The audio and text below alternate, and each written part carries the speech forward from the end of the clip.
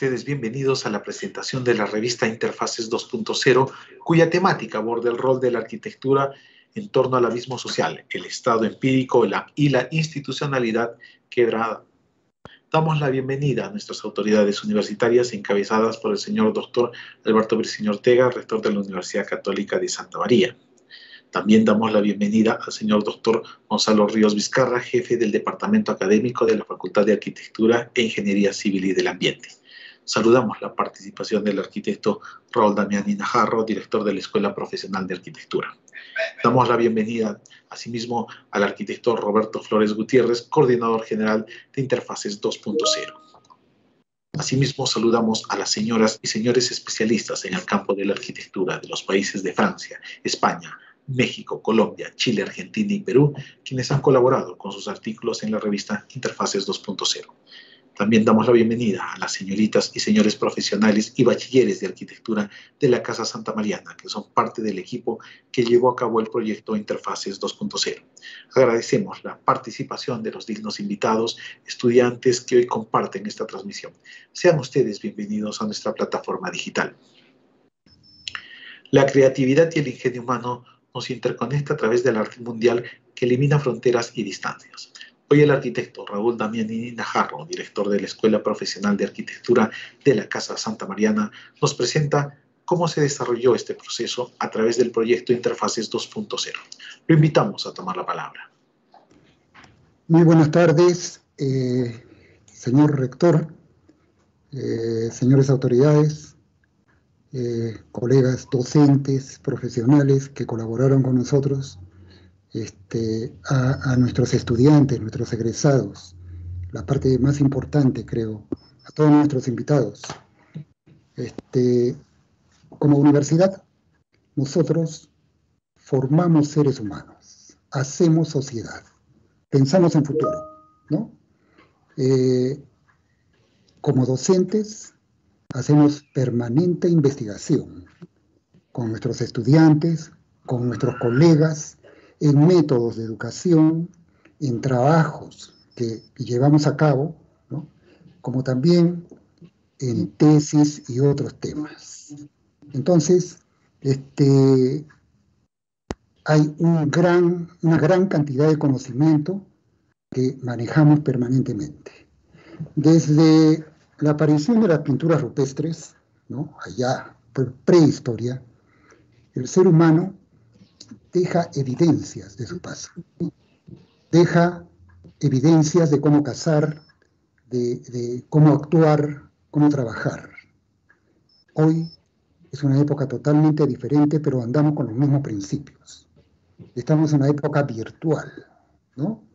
Y nosotros todo el tiempo estamos metidos en temas de arquitectura, de investigación, de tesis y proyectos, con nuestros estudiantes que son los que trabajan con nosotros permanentemente. Son las mentes frescas. Entonces, todo esto nos ha llevado a crear un centro de publicaciones eh, en nuestra facultad, Facultad de Arquitectura e Ingeniería Civil eh, y del Ambiente, para que podamos publicar todo lo que andamos trabajando. Andamos trabajando como métodos de educación, proyectos que son importantes, que a veces nos sorprende tremendamente la calidad de estos trabajos, así como tesis, no la tesis completa, sino lo más importante de la tesis, ¿no? el extracto de la tesis, y eventos como los que hemos hecho el año pasado. Entonces, eh, hoy les queremos presentar eh, el primer documento que hemos sacado eh, sobre lo que es interfaces TOS, de, que se hizo en, en el 2020, noviembre, diciembre del 2020. Tenemos pensado, ya estamos trabajando sobre la planificación del nuevo evento de este año y vamos a continuar con esto. Entonces, no me queda más que agradecer la presencia de ustedes, la presencia de nuestros estudiantes, de nuestros egresados y de nuestros colegas profesionales que nos han ayudado a sacar todo esto adelante. Eso sería todo. Muchas gracias y, continuemos. Agradecemos al arquitecto Raúl Damiani Najarro por las palabras que el día nos ha brindado. La Comisión de Publicación de la revista Interfaces 2.0 preparó un material audiovisual donde nos presentan el trabajo en equipo que llevaron a cabo para lograr entregar a la academia y a la sociedad civil una agenda de desarrollo para la ciudad de Arequipa y el Perú Bicentenario. Los invito a apreciar este video.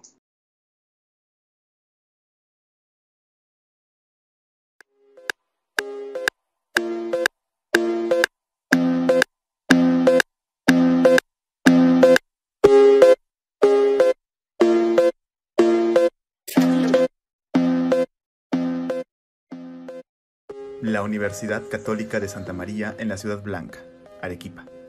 Las imágenes pretenden mostrar a nuestra querida ciudad, una de tantas ciudades en crecimiento, en constante cambio, con miles de tareas sin concluir y un millón por realizar, y a nuestra casa de estudios, cuya labor es forjar a jóvenes estudiantes conscientes de su realidad, de sus necesidades y problemáticas, capacitar y forjar competencias que permitan establecer soluciones efectivas y eficientes a través de diversas herramientas y medios. La Escuela Profesional de Arquitectura de la Universidad Católica de Santa María muestra eh, su enorme compromiso con la formación de sus estudiantes, pero también con abordar los problemas de la sociedad, de la ciudad de Arequipa y finalmente del entorno.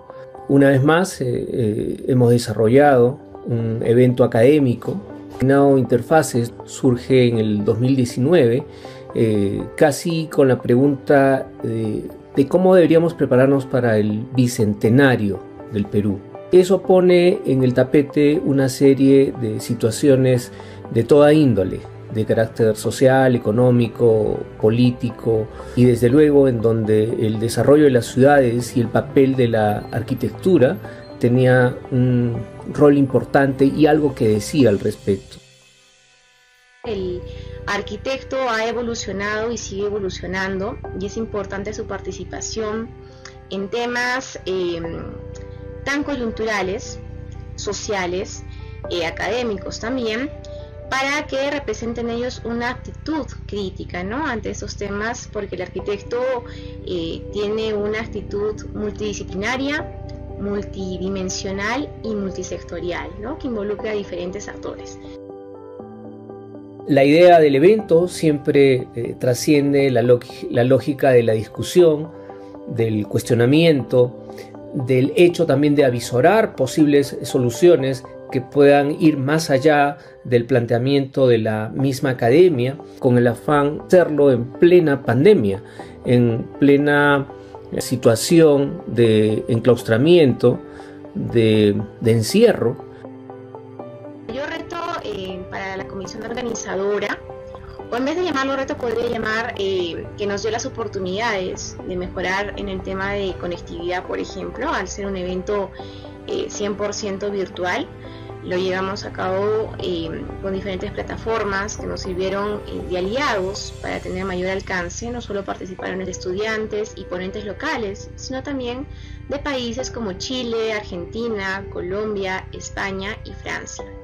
Y eso nos ayudó también bastante en el tema de los aforos, en el tema de esta misma reunión que vamos a darles el alcance de la publicación de manera virtual nos ha hecho llegar eh, con una mayor dinámica a cada uno de los participantes contribuyendo en una plataforma de discusión, de cuestionamiento, de alternativas de propuesta y de pasar de la fila eh, de las críticas a la fila de los que quieren hacer algo.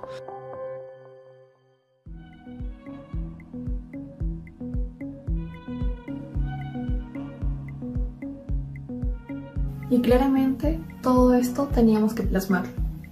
Cada paso, cada palabra, en páginas eternas que den inicio a una nueva tradición y desafío en la época. Porque el motor y motivo de este proyecto es transmitir conocimientos y experiencias. Y qué mejor que empezar en un año que para todos se tradujo en un punto de quiebre, caótico, una llamada de atención para buscar nuevas herramientas Es así que nace la revista Interfaces 2.0, donde encontrarán los diversos temas tocados durante el ciclo de conferencias por nuestros docentes y conferencistas invitados de diferentes ciudades y países. Asimismo, encontrarán el trabajo y los retos dados durante la etapa del workshop por los diferentes alumnos que participaron de este evento, de la mano de docentes y egresados e incluso de nuestros conferencistas sin más preámbulos, conozcamos la revista.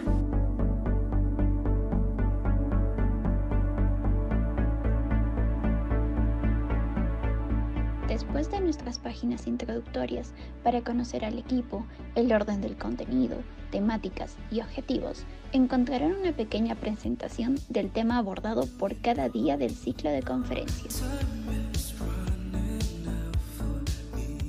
Seguidamente encontrarán los resúmenes de cada día de las ponencias, apoyados por comentarios e imágenes presentadas.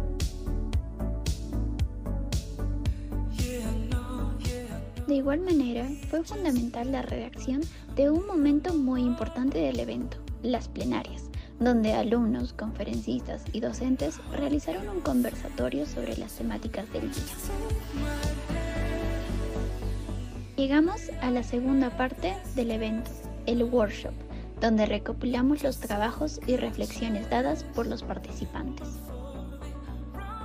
Y sin duda alguna, era necesario mencionar a cada uno de ellos, cada alumno, cada grupo, cada equipo de trabajo.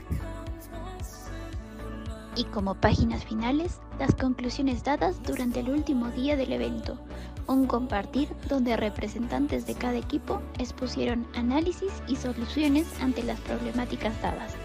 Asimismo, incluimos algunas recomendaciones para futuros eventos.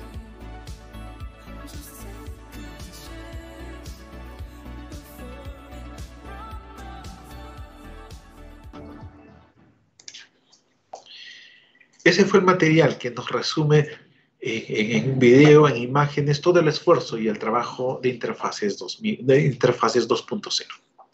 A continuación, escucharemos los comentarios de los ponentes, estudiantes, egresados y docentes de la Escuela Profesional de Arquitectura respecto a las experiencias de Interfaces 2.0.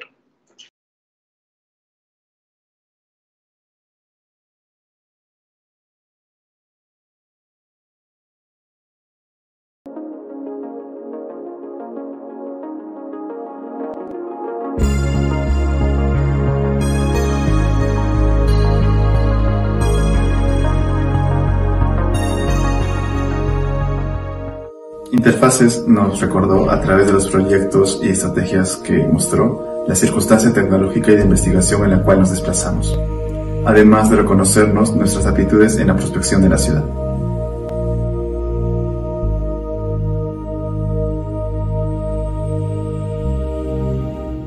Me, me, resulta difícil pensar que la arquitectura no esté fuertemente ligada a la cuestión social, al mejoramiento o al empeoramiento de las situaciones de, del hábitat, de, las condiciones de los espacios urbanos en las que se intervienen, muchas veces con poca responsabilidad, otras veces con más responsabilidad. Creo que, la arquitectura tiene la, la necesidad de asumir estas responsabilidades, sobre todo en eh, ciudades como las nuestras, eh, latinoamericanas, a veces ciudades eh, muy populosas, con espacios muy degradados, donde una buena intervención puede cambiar para bien las condiciones de, la vida de las personas, o en los casos de las viviendas u otros espacios, las cuestiones del hábitat que sin duda son centrales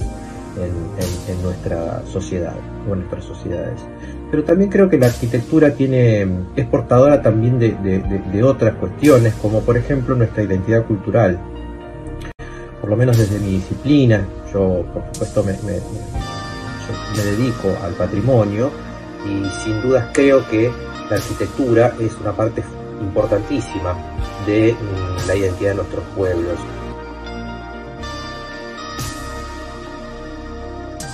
Siendo completamente honesta, eh, siento que si bien la nueva generación de arquitectos se enfrenta a un escenario bastante complicado definitivamente. No es tan diferente al escenario que encontraron generaciones anteriores, puesto que se vienen arrastrando problemas similares, como por ejemplo los conflictos sociales, inestabilidad política, inestabilidad económica, problemas urbanos y medioambientales. Sin embargo, a esto se ha sumado una pandemia, eh, la fuerte competitividad laboral y la dificultad de encontrar trabajo. Siendo esta la situación, eh, creo que a nosotros nos ha obligado un poco a cambiar y refrescar sobre todo nuestra perspectiva sobre la arquitectura y los límites de esta. También creo que como jóvenes que somos, eh, pues aún tenemos en nuestras mentes frescas las enseñanzas que recibimos en nuestros años universitarios, todos los valores y principios que nos inculcaron. Lo que pasa es que luego al enfrentarnos al mundo real es que se da un, como un punto de inflexión en el que queremos nosotros contrastar estos dos mundos, un poco el lado académico y el lado laboral. Y es en este punto en el que nos damos cuenta que en realidad la arquitectura y el urbanismo se han convertido en una especie de receta y que son muy pocos los profesionales que deciden dar un paso más allá.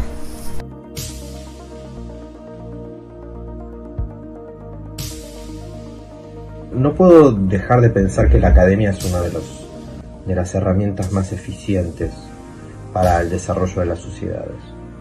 Y además de eso, creo que la formación de quienes hacen la academia es eh, fundamental para que eso suceda de la manera correcta, para que el desarrollo de la sociedad a través de la academia suceda de manera correcta.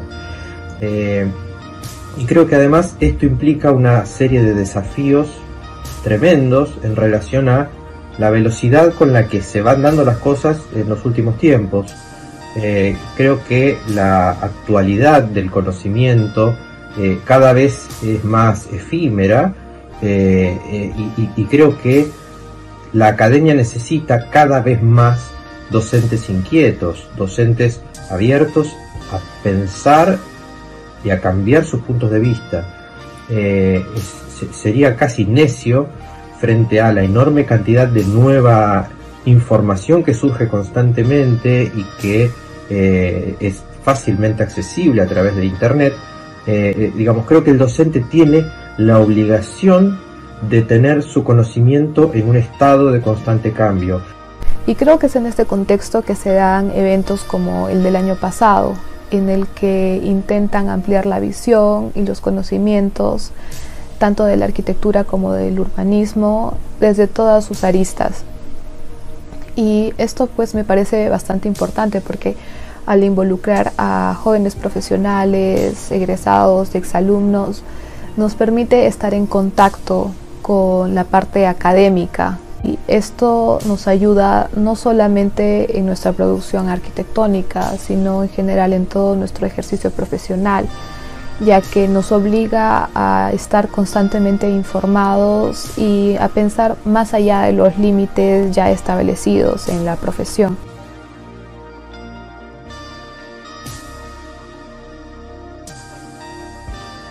Creo que eh, dentro del quehacer de nuestra profesión, en muchos casos nos olvidamos que la arquitectura en sí es un producto de la sociedad por lo que es fundamental, digamos, sumar distintas perspectivas y realidades para que esta construcción social del hábitat sea real y auténtica, principalmente desde una perspectiva colaborativa entre arquitectos, arquitectas, con los usuarios y sus comunidades.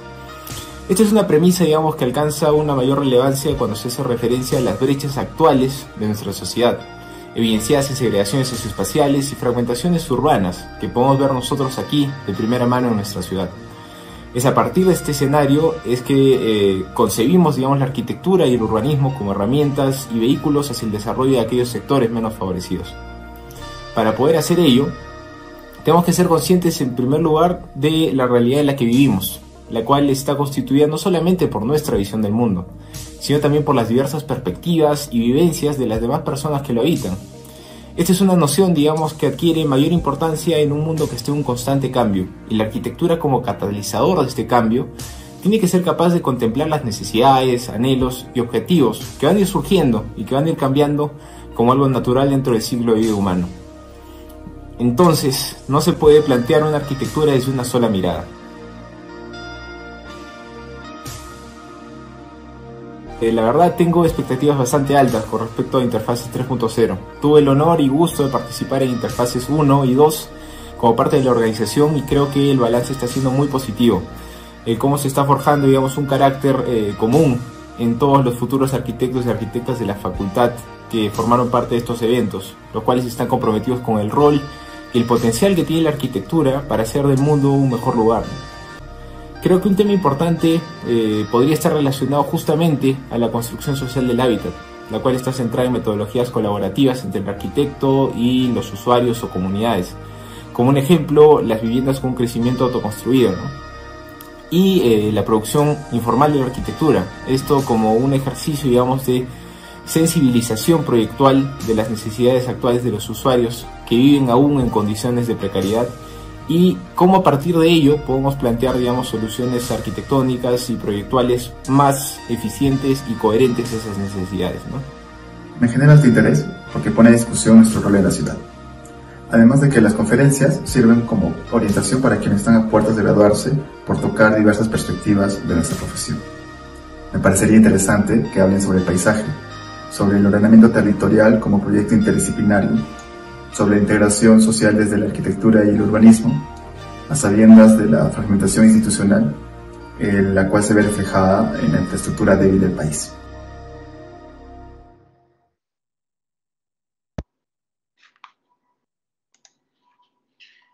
Esto fue los testimonios de los estudiantes, docentes y especialistas de la Escuela Profesional de Arquitectura. A continuación invitamos al arquitecto Roberto Flores Gutiérrez, coordinador general de Interfaces 2.0, a brindar la presentación del trabajo realizado.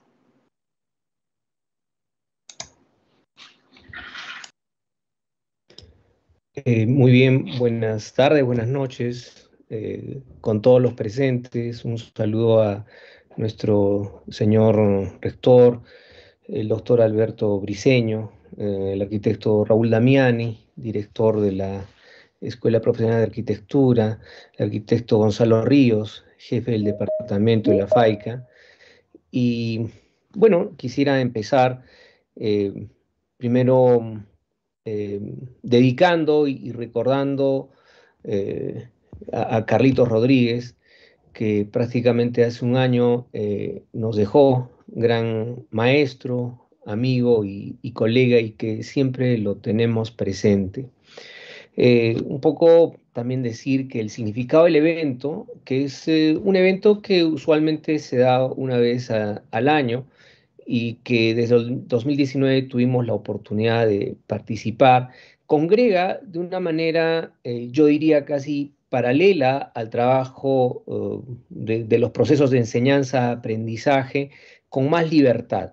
Entonces, los docentes y los, estudiantes ya no tienen la obligación de hacer algo porque cumplen una currícula, unas horas de trabajo, o los estudiantes buscando la aprobación eh, a través de, una nota o un cumplimiento, digamos, obligatorio de esa índole académica, sino más bien que se trabaja en una plataforma horizontal.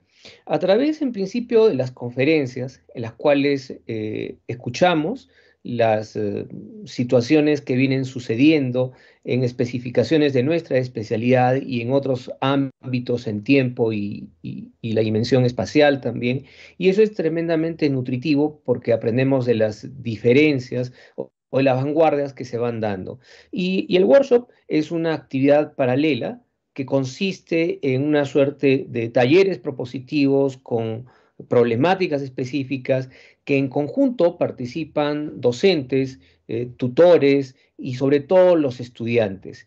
Y, se mezclan estudiantes de los diferentes años, desde primer año hasta quinto año y sobre todo nuestros egresados también participando, que, digo con mucho orgullo, el convocarlos, el llamarlos, el hacerlos partícipes no es para nada eh, difícil, porque eh, creo sin lugar a dudas que de alguna manera hemos aprendido a construir un sentido de identidad que nos genera un arraigo y unos lazos afectivos en, la mirada de ser propositivos desde nuestra disciplina. Eh, en ese sentido, el, evento como la formación de los estudiantes buscan siempre eh, tener propuestas hacia la sociedad que trasciendan el ámbito académico la, academia no puede vivir en una burbuja llenándose eh, de logros, laudos y, cartones o títulos únicamente, sino que tiene que trascender a través de las propuestas eficientes, eh, las, eh, las, gestiones y laxos y nexos que tiene que tener también con los ámbitos de gobernabilidad de la ciudad uno de los principios de la universidad es, ese precisamente, ¿no? Y, muchas veces lo descuidamos porque básicamente nos dedicamos a los procesos ya conocidos y esta es una oportunidad maravillosa que permite trascender ante ello. La temática que, tocamos, el rol de la arquitectura en torno al abismo social, el estado empírico y la institucionalidad quebrada, les aseguro que puede calzar perfectamente en la actualidad en cualquier país de Latinoamérica hoy en día. Por lo tanto, esta realidad no es una realidad aislada de la República Peruana de hace 200 años, sino que de alguna manera convive con las mismas taras y problemáticas de los demás países, ¿no? Eh, hace poco revisaba un poco lo que sucedía en el primer centenario de la independencia y que nos tocó vivir eh, una dictadura. Era la historia del famoso oncenio de Leguía, donde había un control absoluto de poderes, se derrocó la oligarquía, cansados de más de 100 años de que únicamente 40 familias eh, dominen el país y, Leguía eh, le llamó la reforma de la patria a, su gobierno que duró 11 años hasta que terminó derrocado porque hubo la, la Gran Depresión en Estados Unidos y fuimos un país que pretendió entrar al capitalismo desde un ingreso a la modernidad. La gran transformación que ocurrió en Lima fue precisamente en, esta lógica de, esta patria de la modernidad que proponía eh, Leguía, que generó un endeudamiento increíble con Estados Unidos, al punto que casi por mandato de los Estados Unidos perdimos fracciones territoriales con Brasil, Colombia, Ecuador, Bolivia, Chile, etcétera, etcétera. Eh, y eso acrecentó pues un tremendo endeudamiento eh, y una tremenda crisis social. Recién en los años 20 se da por primera vez una carretera de penetración a la sierra. Por lo tanto, el discurso de abismo social, estado empírico y la institucionalidad quebrada pareciera que fuese un discurso cíclico, que se repite a sí mismo.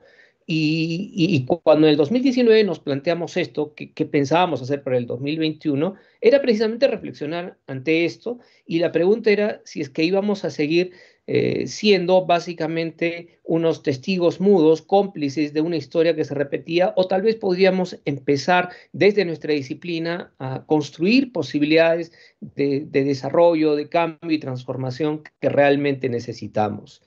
El evento tocó este año temáticas específicas ligadas a la ciudad, al territorio, a la vivienda, a la sostenibilidad, al patrimonio, eh, a las estrategias proyectuales y la arquitectura, y que desde luego lo seguiremos tocando, espero, o ahondaremos algunos otros e incorporaremos nuevas temáticas. Entonces, ese fue el evento que después ahora se refleja en un documento, porque la organización del evento eh, pasó pues por una planificación, una coordinación, el desarrollo propiamente dicho del evento, el registro de información, porque desde un principio queríamos tener un documento, porque normalmente hacemos estos eventos y todos estos eventos se pierden, se difuminan, terminan eh, siendo muchas veces un cartón de reconocimiento de que asististe o que organizaste un evento, pero no trasciende en, en el registro de algo que puede publicarse y que queda y senta una huella para que nosotros mismos lo podamos consultar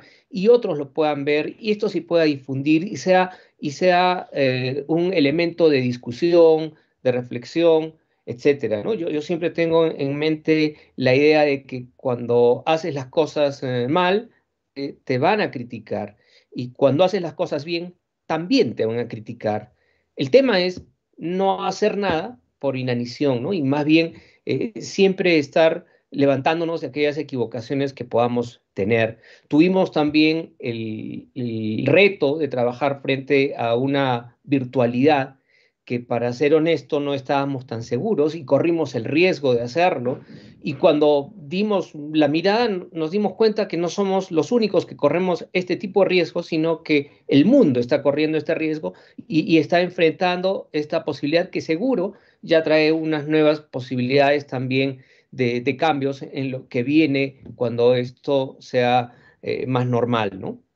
Debo agradecer y felicitar al equipo eh, participativo de docentes, egresados y alumnos y exalumnos que han participado en, la organización del evento, de las conferencias, porque hacer una conferencia implica eh, trabajar una temática, ver quiénes pueden eh, participar, contactarse con cada uno de ellos, ver los itinerarios, resolver problemas de horarios, posibilidades o lo que fuese, ¿no? Y armar una estructura, presentarla a la misma universidad. Entonces, no es un trabajo sencillo. Si a eso lo ahondamos con el hecho de que también tenemos que manejar un tema contable, porque esto eh, finalmente eh, tiene que ver con manejo de recursos financieros, el tema es bastante complicado, ¿no? Y, claro, resulta más fácil simplemente eh, mirar a ver qué pasa, a, a meterse al ruedo y comprarse muchas veces unos problemas de los cuales en lo personal, y estoy seguro que todo el equipo, eh, al cual reconozco nuevamente y felicito. Estamos orgullosos de, haber aceptado y participativo y de haber participado, ¿no?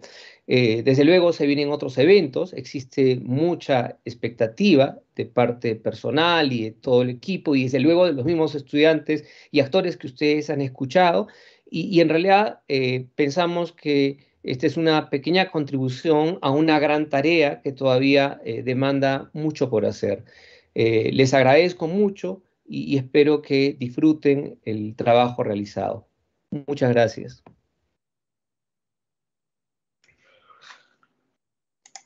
Agradecemos la participación del arquitecto Roberto Flores Gutiérrez. A continuación, invitamos al señor doctor Gonzalo Ríos Vizcarra, jefe del Departamento Académico de la Facultad de Arquitectura e Ingeniería Civil y del Ambiente, a brindar sus palabras. Muy bien, muchas gracias, muchas gracias. Buenas tardes con todos. Buenas tardes, este, doctor Manuel Briceño Ortega, eh, eh, rector de nuestra Casa de Estudios, arquitecto Raúl Damián Inajarro, director de la Escuela de Arquitectura, arquitecto Roberto Flores, eh, principal organizador del evento. Un saludo también a, a todos los, los que participaron en este evento, bien sea desde las comisiones, desde la organización o desde las ponencias. Eh, a mí solo me cabe eh, felicitarlos y, bueno, contar lo, significativo que resulta esto para la facultad, dado que eh, estos eventos se vienen realizando ahora hace unos 12, 13 años. Y, cada uno de ellos ha tenido sus, diferentes aportes, eh, pero lo que caracteriza a todos estos es que han quedado en ser unos bonitos recuerdos, han quedado en eh, seguramente depositarse en la, en la memoria de generaciones de egresados que recuerdan con muchísimo cariño estos eventos y que los consideran eh, unos complementos eh, muy atinados al resto de su formación profesional, pero lamentablemente nunca hubo eh, un registro de los mismos y una publicación como la que hoy en día nos están ofreciendo. Y esto me parece sumamente relevante porque ya estamos este, cansados de escuchar que, que toda generación de conocimiento no lo es tal si no se publica. ¿no? Lo hemos visto, por ejemplo, ahora con, este tema de las investigaciones, de las vacunas. Bueno, se decían mil cosas, pero hasta que no se publicasen, no tenían validez. ¿no? Entonces, esto hace que el esfuerzo enorme que nos ha comentado Beto, que supone hacer esto, tenga una recompensa, que es la publicación de la revista que hoy en día vemos. Yo recuerdo, y se lo dije a, Roberto en su determinado momento, que el nombre del evento me parecía demasiado fatalista, ¿no? Nos hablaba de un estado empírico, de una sociedad quebrada, de una institucionalidad este, absolutamente ineficiente, ¿no? Y, yo le dije, oye, un evento para, para estudiantes me parece que debiera ser algo más eh, positivo, ¿no? Eh, y, creo que el tiempo le ha dado la razón a Roberto, ¿no? Dado que eh, si nosotros vemos el panorama en el cual nos encontramos hoy en día, no se puede hacer arquitectura, no, no podemos pretender hacer buenos edificios si es que el aspecto social y el aspecto político no nos los permiten si tenemos una institucionalidad que eh, simplemente eh, trabaja eh, con, este, aparatos no, no, no, no probos, por, por, no decir corruptos, ¿no? y que si nosotros como profesionales no nos involucramos y no los tomamos como una variable para la cual poder ejercer como arquitectos, nunca vamos a poder hacer los lindos trabajos, las lindas maquetas y los lindos dibujos que eh, seguramente hacemos en los talleres. Entonces, en este eh, evento, como que se, se, trató de comprar el problema que muchas veces nosotros los arquitectos queremos esquivar, ¿no? Y es el, el, problema de una, de una sociedad en donde eh, las, las condiciones son bastante adversas para hacer una buena arquitectura. Y sin embargo, el Perú, el país, grita y clama por una buena arquitectura. Una buena arquitectura que vaya desde los cimientos del hábitat para las personas con más necesidad hasta una arquitectura que sea lo suficientemente simbólica como por ejemplo para conmemorar el bicentenario. Entonces, ante esa situación, me parece absolutamente oportuno eh, el, tema y cómo se ha abordado.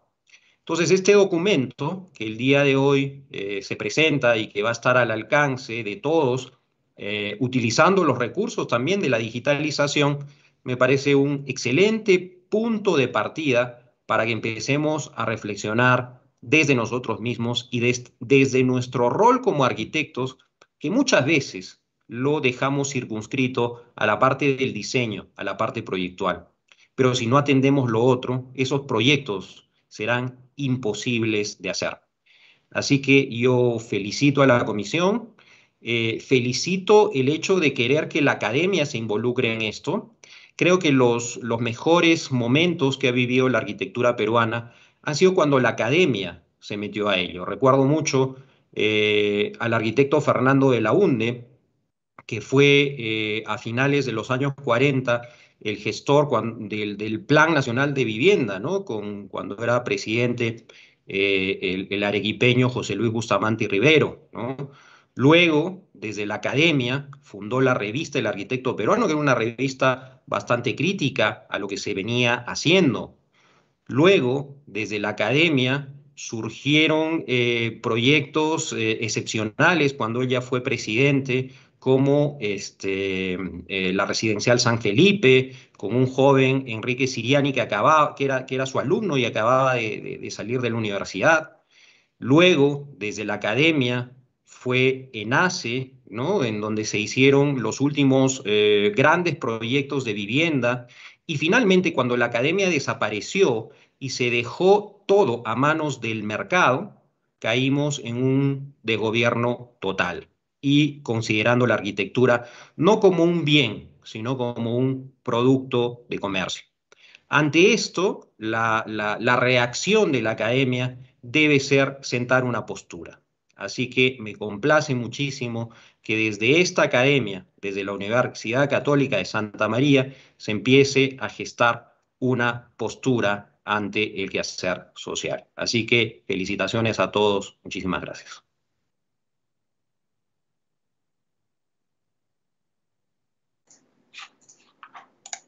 Agradecemos la participación del doctor Gonzalo Ríos Vizcarra. La Universidad Católica de Santa María es una casa superior de estudios comprometido con la cultura y el desarrollo de Arequipa. Es momento de escuchar el mensaje de la autoridad universitaria de la Casa Marianista en la persona del señor doctor Alberto Briceño Ortega, rector de la Universidad Católica de Santa María. Lo invitamos a tomar la palabra, señor rector. Muchas gracias. Damas y caballeros, tengan muy buenas noches. Eh, ingeniero Renato Díaz, decano de la facultad, arquitecto Gonzalo de los Ríos, eh, jefe de departamento, arquitecto Raúl Damiani, director de la Escuela Profesional de Arquitectura, arquitecto Roberto Flores, coordinador general de la revista Interfaces, arquitectos colaboradores como el arquitecto Nicolás Ferrino. Para la autoridad universitaria es muy grato el poder eh, recibir y darnos cuenta que en la Escuela Profesional de Arquitectura, si bien las condiciones son adversas desde el año pasado para uh, hacer publicaciones o para hacer estas actividades, ustedes sin embargo lo han sabido realizar,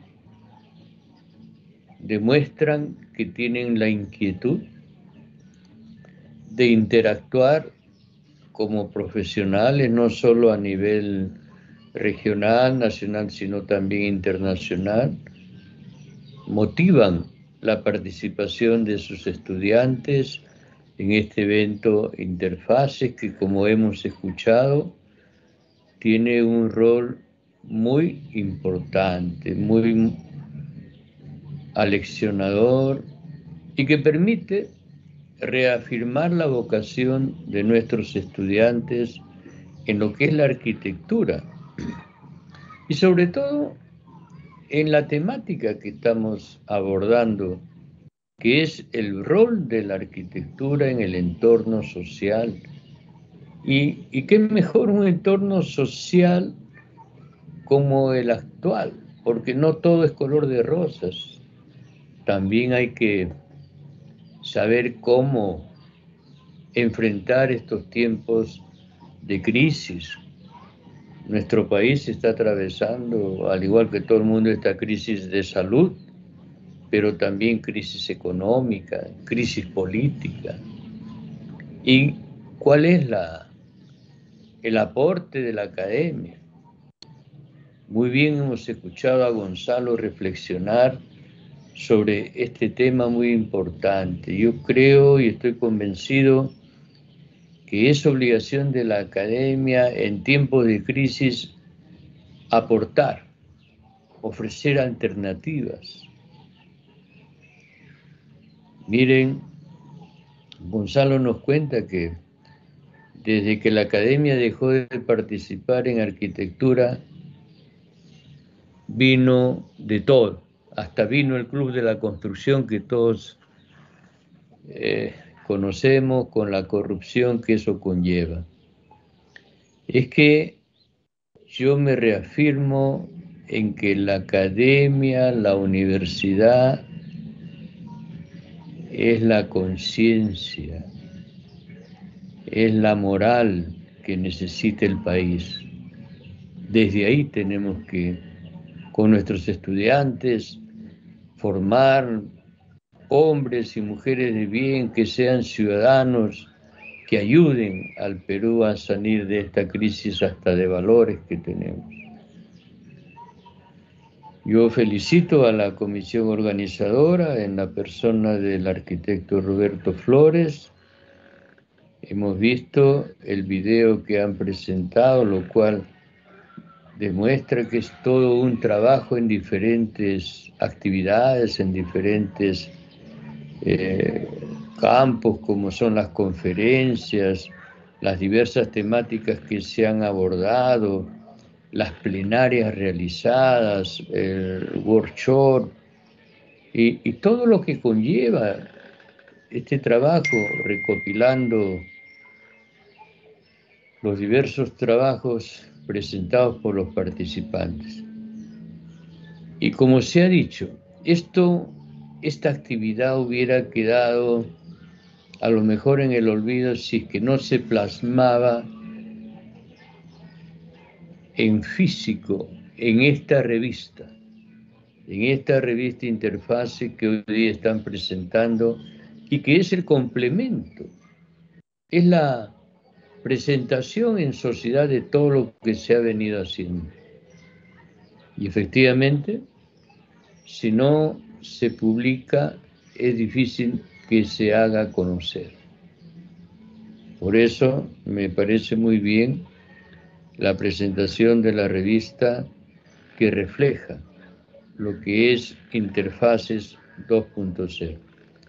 A nombre de la comunidad universitaria, reitero la felicitación a la Escuela de Arquitectura, a la comisión organizadora del evento Interfaces y los aliento a seguir con este entusiasmo, con este querer hacer que ahora más que nunca se necesita.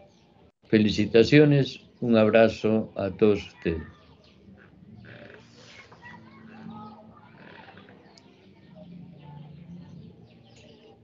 Valioso mensaje que hoy nos entregó nuestro señor rector. Agradecemos sus palabras. Agradecemos a nuestra autoridad universitaria, a los dignos invitados que nos han acompañado a la presentación de la revista Interfase 2.0. Dignas autoridades de la Universidad Católica de Santa María. Señoras y señores invitados, les rogamos encender su cámara para la foto oficial.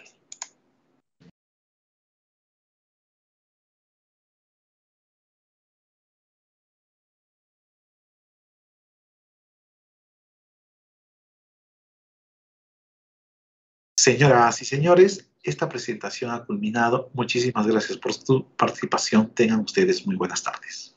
Muchas gracias.